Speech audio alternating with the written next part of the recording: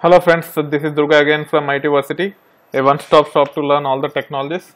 As part of this video, I will try to show how to set up MySQL database um, as part of setting up lab for practicing Hadoop and Spark uh, using Cloudera distribution. Okay, so for that first we need to install MySQL. MySQL comes into uh, comes handy in several scenarios. One is to uh, to set up Cloudera itself.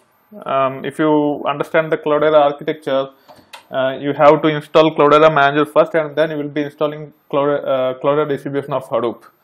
So to save certain metrics in the database, uh, Cloudera Manager itself need to have a uh, relational database.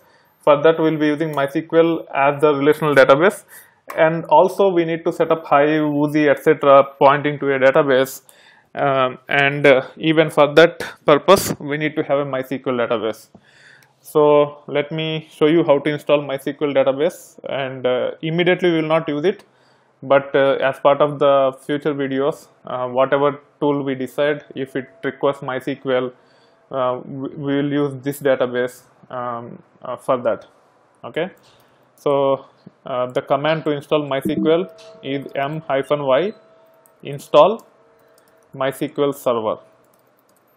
And if you are using non-root user such as ec2 hyphen user when you set up red hat when you set up ec2 instance or the server with uh, Red Hat Linux.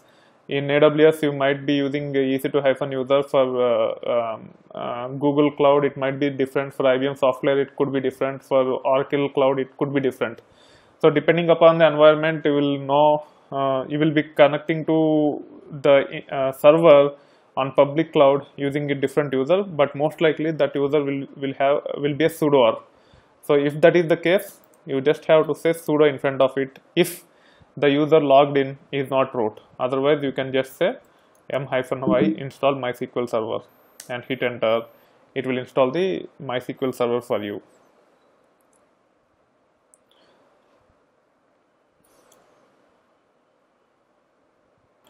okay once you install the mysql server you have to install mysql connector okay for that again you can use either sudo yum hyphen y install MySQL connector Java. So to this database, whatever tool we use, we will try to connect using uh, JDBC and uh, by running yum hyphen y install MySQL connector Java, we will be uh, downloading uh, the JDBC jar file that is required to connect to the database using uh, external tools later. So we have to install this one also. It will it is a very small package and it will be done within no time. actually it is taking quite a bit of time i think it has a lot of dependencies to be installed so it is installing all those dependencies once the installation is done we will resume so now the installation is done okay so we need to validate. So you can use mysql hyphen u root hyphen uh, so you don't need to give hyphen p because when you log into mysql for the first time using root user uh, you have to log in without uh, uh, password. So you can just say mysql hyphen u root.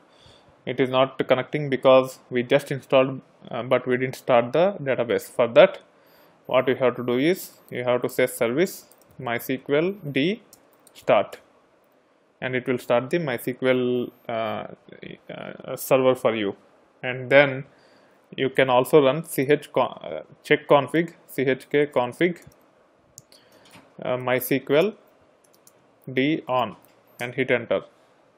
It will make sure that the MySQL database will be started automatically on reboots. If you don't run this command, then the database will not be started automatically and you will not be able to connect to the database. Now you will be using mysql hyphen u root to connect to the database without prompting for the password.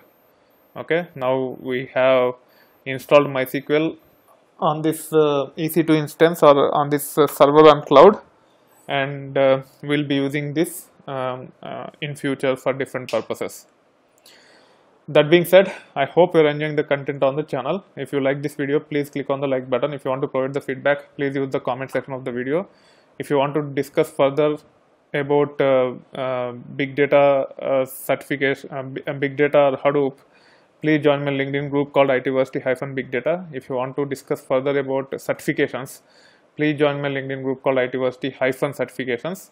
And also make sure you provide feedback um, uh, in Udemy so that uh, um, I, uh, I can uh, improvise on my content going forward.